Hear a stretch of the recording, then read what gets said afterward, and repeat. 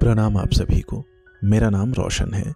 दोस्तों, आज मैं आपके लिए लेकर आया हूँ मशहूर हिंदी कथाकार अमरकांत जी की लिखी एक बहुत ही लोकप्रिय कहानी, जिसका शीर्षक है काली छाया। तो आइए शुरू करते हैं कहानी का पाठ। एक काली छाया उस ओर बढ़ रही थी। भादों की अंधेरी रात। ऊपर आकाश एक टोप की तरह फैला था, जिसमें तारे जुगनुओं की तरह चमक रहे थे। जीने के पास दो खाटे पड़ी थी, पतली और गहरी। एक पर सोलह या सत्रह वर्ष की एक लड़की सोई थी।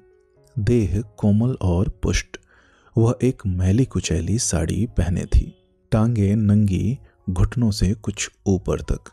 उसके खुले बाल नीचे लटक रहे थे और उभरी छातियाँ निःशब्द सांसों पर लहरों की तरह उठ गिर रही थी। दूसरी खाट पर लगभग पचास वर्ष की एक अधेड़ स्त्री थी।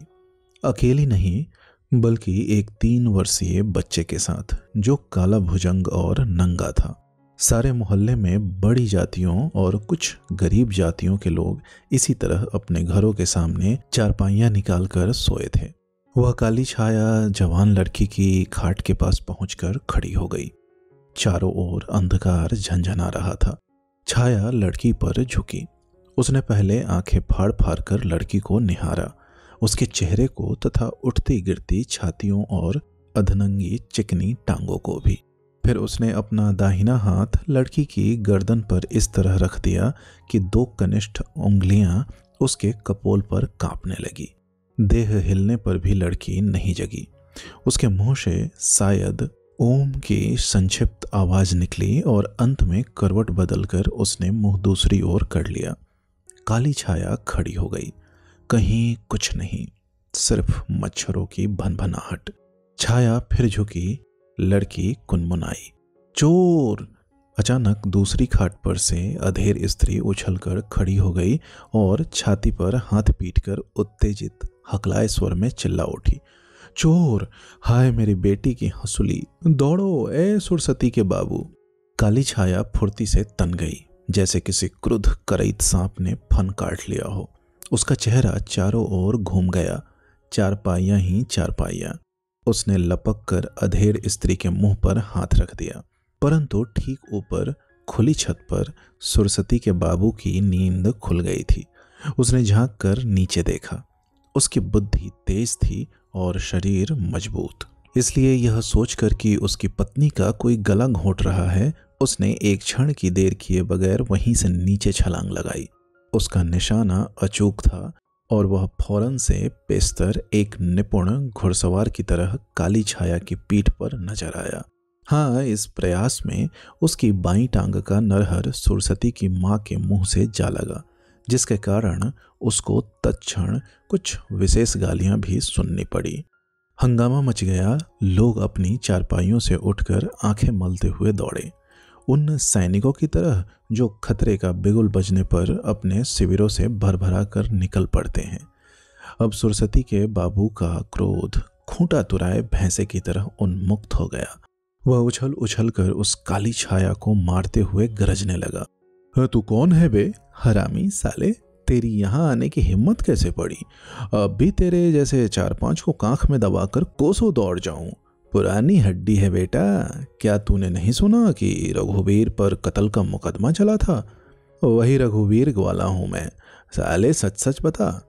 परंतु दुर्भाग्य से उसको कत्ल करने का अवसर नहीं दिया गया और मोहल्ले के दो नौजवानों ने आगे बढ़कर उस काली छाया को हिरासत में ले लिया तथा शेष लोग उसके चारों ओर एक घेरा बनाकर खड़े हो गए।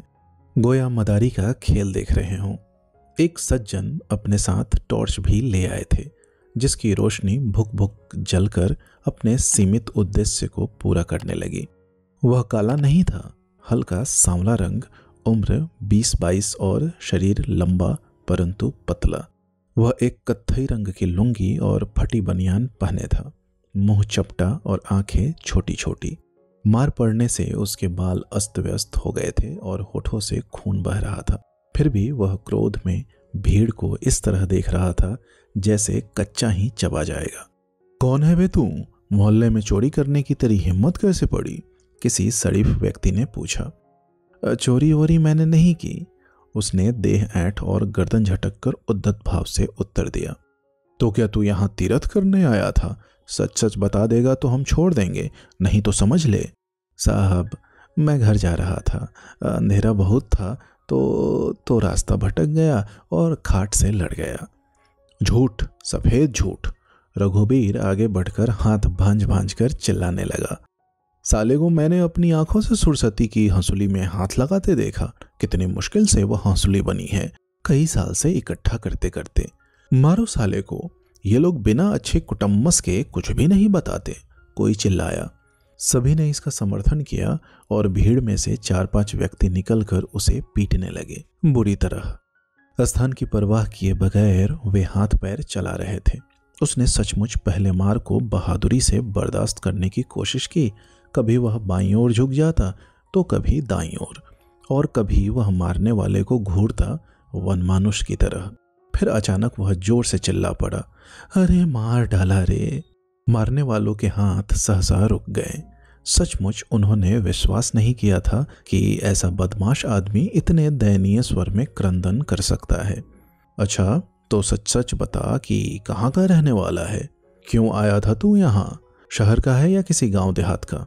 अरे, अभी और मारिए साहब, जमकर पिटाई कीजिए। अगर इस तरह छोड़ दिया जाएगा तो आगे चलकर यही हमारे आपके घर में सेंध लगाएगा। इसको ऐसा खाने भर को दे दीजिए कि आइंदा इधर पैर रखने की हिम्मत भी न करे। किसी विज्ञ ने राय दी। उस पर फिर तेज़ी से प्रहार होने लगे। जैसे स्विच दबाने से कोई चक्की चलना शुरू हो जाए, वह फिर डांक डांक चिल्लाने लगा। इसके अलावा वह और कुछ बताने का नाम भी नहीं लेता था। अब निष्क्रिय खड़े लोगों में से कुछ धीरे धीरे बातें करने लगे। आजकल शहर में पूरब से डाकुओं का एक दल आया है। इसीलिए आसपास के गाँवों में डकैतियाँ पड़ रही है। शहर में चोरियाँ बढ़ने का यही कारण है। साफ़ बात तो यह है कि पुलिस चोर डकैतों से मिल गई है। अगर पुलिस ईमानदार हो तो यहाँ एक भी चोरी ना हो। कुछ वर्ष पहले यहाँ एक ऐसा ज़बरदस्त कोतवाल आया था कि एक ही हफ़्ते की कार्रवाई के बाद सभी अपराधी जिला छोड़कर भाग गए। इसको पुलिस के हवाले कीजिए साहब। पुलिस वाले ही इनसे निपट पाते हैं। मैं अपनी आँखों से सब कुछ देख चुका हूँ। कोई चिल्लाया। कई लोगों ने उनका समर्थन भी किया। निसंदेह मारने वाले और खड़े होकर तमाशा देखने वाले थक गए थे। साथ ही उन्होंने पिटाई की व्यर्थता महसूस भी कर ली थी। ऐसे भयंकर अपराधी इस तरह थोड़े काबू में आते हैं। पहले उन्होंने यह सोचा कि कोई जाकर पुलिस को यहीं बुला लाए, लेकिन जब उनको यह ख्याल आया कि इसके लिए भी किसी को सचमुच कोतवाली जाना ही पड़ेगा तो वे चिंता में पड़ गए। फिर यह निश्चय किया कि तीन चार व्यक्ति चोर को ही कोतवाली ले जाएँ। कौन जाए? एक तगड़े व्यक्ति से कहा गया तो उसको सहसा पेट में दर्द होने लगा।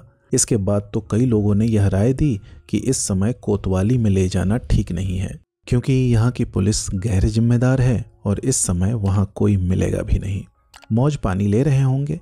इसके अलावा कोतवाली यहाँ से दूर है और बीच का रास्ता सुनसान भी पड़ता है। अतएव डर है कि चोर के साथ ही हमला करके इसको कहीं छुड़ा न ले। फ़िलहाल इसको इस पैर में रस्सी से बाँध दीजिए। सवेरे पुलिस को दे देंगे। किसी ने जमुआई लेते हुए रास्ता सुझाया। इस उपाय को सभी ने पसंद किया। वहाँ से पचास साठ कदम की दूरी पर एक शीशम का पेड़ था। लोगों का उत्साह इतना बढ़ गया कि वह कुछ ही देर में पेड़ के तने से चिपका नज़र आया। जैसे किसी अजगर ने उसको ऊपर से नीचे तक लपेट लिया हो। सभी अपने शिविरों में गायब हो गए। अब चारों ओर सिर्फ़ खाटे ही खाटे नज़र आ रही थी। जीने के पास ही उन दोनों खाटों के पास एक और खाट पड़ गई थी, सुरसती के बाप की। वैसे ही खामोशी, घना अंधेरा। दूर से कुछ कुत्तों के भौंकने की आवाज़ सुनाई दे रही थी। वह कुछ देर तक रोता रहा। बुद बुद बुद बुद, जैसे किसी पोखरे में बुलबुले उठ रहे हो। फिर वह खामोश हो गया। कुछ देर बाद उसकी देह तन गई प्रश्न चिन्ह की तरह। अब वह अजगर से लड़ने लगा, शरीर को बाएँ और दाएँ ऐठते हुए। काफ़ी देर तक उसने कोशिश की और अंत में थक गया। उस पर काफ़ी मार पड़ चुकी थी। उसका शरीर कई जगह फट गया था। उसके दांत और नाक से खून बह रहा था। उसकी बनियान फट गई थी। विशेष रूप से दाहिनी आस्तीन चिथरी चिथरी हो गई थी। रात गुजरने लगी, हवा कुछ तेज हो गई। कभी कभी सड़क पर धूल उड़ जाती, दूर कहीं एक मुर्गा बोला। पूर्वी क्षितिज पर एक हल्का उजाला पुतने लगा। वह अब अपने सिर को नीचे गाड़ कर धीमे धीमे बड़बड़ाने लगा। धोखा धोखा, देख लिया। ससुर दिन भर का चक्कर। वह ना मालूम क्या क्या बोलता रहा। क्षितिज का उजाला और चटक हो गया। दो आदमी हाथ में लोटा लिए उधर ही आते नज़र आए। पास आकर वे रुक गए। परंतु उनको बड़ा आश्चर्य हो रहा था। रात के समय जिसको उन्होंने दैत्य से कम भयंकर नहीं समझा था, वही अब बहुत ही दयनीय प्राणी मालूम हो रहा था। गाल की हड्डियाँ कैसी उबड़ी हैं, आँखें एकदम धसी हुई है, चोर कहीं ऐसा भी होता है? रात के भय की समाप्ति और अच्छी नींद के बाद अब पावन प्रभात में उनके दिल उदारता, करुणा और पश्चाताप से भर गए थे। चोर नहीं है यह। कैसा चोर साहब? मैं तो उस समय यह कह रहा था, छोड़ देना चाहिए। बेकार में। उन्होंने अपने सिर हिलाए, शायद दयापूर्वक। फिर वे घूमकर तेज़ी से अपने गंतव्य की ओर बढ़ गए। उसने एक क्षण तक उनको जाते देखा। अचानक बहुत ज़ोर ज़ोर से चिल्लाने लगा। अब कोई सामने आए तो बताऊँ, चोर हो गए तुम, तुम्हारे बाप दादा। मैं अपनी मेहनत की कमाई खाता हूँ, जिसको सुनना हो सुन ले। इसी शहर में एक हफ़्ते तक भूख से तरपता रहा। पर किसी साले के सामने हाथ नहीं फैलाया। अब इसी शहर में रिक्शा चलाता हूँ, जिसको जो कुछ करना है कर लो। जो कभी चोरी की हो तो मुझे कोट फूटे। गरीब हूँ तो क्या, मेरा दिल राजा है। चलेगा मेरे साथ कोई? मैं उसको घर पर रखकर महीनों मुफ़्त खिलाऊँगा। है कोई माई का लाल? वह खूब गरज तरप रहा था, जैसे किसी फ़िल्म का मजदूर नेता कोई क्रांतिकारी भाषण दे रहा हो। अंधकार काफ़ी झीणा पड़ गया था और उसके चेहरे की रेखाएँ उभर रही थी। मोहल्ले से कुछ और लोग आकर रुक गए। उनको विश्वास ही नहीं हो रहा था कि इसी को उन्होंने पीटा था। यह तो एक इंसान, एकदम साधारण और दयनीय। साहब, यह तो गलत है। हाँ चोर होता तो क्या यही घर रह गया था? बेकार में बहुत मार खा गया। खोल दीजिए रस्सी। चलिए चलिए, सवेरे ही मुझे एक जगह जाना है। वे जब चले गए तो वह और ज़ोर ज़ोर से गरजने लगा। इस मोहल्ले पर बज्जर गिरे, सबका नाश होगा। मैं चोर हूँ? हे ईश्वर, इसका बदला लेना। मैं कहता हूँ, तुम सभी नरक में जाओगे। मैं एक एक घर की बात जानता हूँ। दूसरों का गला काटकर तुमने ऊँचे ऊँचे घर बनवाए हैं। खुद चोर हो। चोर। हे ईश्वर हे ईश्वर। सचमुच उसका मुँह गुस्से से खूब लाल हो गया था। आँखें सिकुड़ गई थी, वह जैसे सारे मोहल्ले को खड़े ही निगल जाएगा, और कभी सिर को ऊपर उठाकर आकाश की ओर निहार लेता। गोया वह ईश्वर के आने की प्रतीक्षा कर रहा हो। मोहल्ले के लोग जाग गए थे। वे अब उसके सामने आकर खड़े हो गए थे। सभी अचंभे से देख रहे थे और कुछ मुस्कुरा भी रहे थे।